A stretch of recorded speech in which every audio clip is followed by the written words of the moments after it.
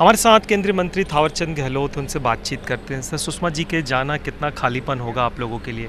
देखो, सुषमा जी का अकस्मात देहांत होना राष्ट्र और अंतर्राष्ट्रीय स्तरीय बड़ी क्षति है। और इस क्षति की भरपाई तो असंभव है, फिर भी उनका जीवन जो प्रेरणादायी रहा, उस पर चल करके इसकी भरपाई करने का प्रयास हो सकता है। वो प्रखर राष्ट्रभक्त, प्रखर वक्ता, देश की एकता, अखंडता के लिए सर्वस्व न्यौछावर करने का जीवन उन्होंने जिया। उनका जीवन त्यागी, तपस्वी और सर्वव्यापी और सर्वहितेशी था।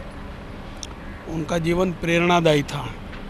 उन्होंने एक प्रेरणादायी कदम उठाया जो आज के युग में कोई भी नहीं उठाता है।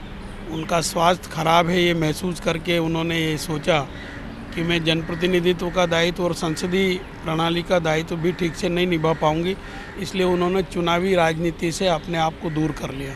जबकि आज के युग में हर कोई चुनावी राजनीति से अंतिम क्षण तक जुड़ा रहना चाहता है। ये उनके जीवन का प्रेरणादायी और ऐतिहासिक निर्णय निश्चित रूप से हम सब लोगों को प्रेरणा देगा। मैं उनके चरणों में विनम्र श्रद्धांजलि अर्पित करता हूँ। धन्यवाद। आपने कहा मस्तान के साथ कुंदन सिंह इंस्टीट्यूट फॉर दिल्ली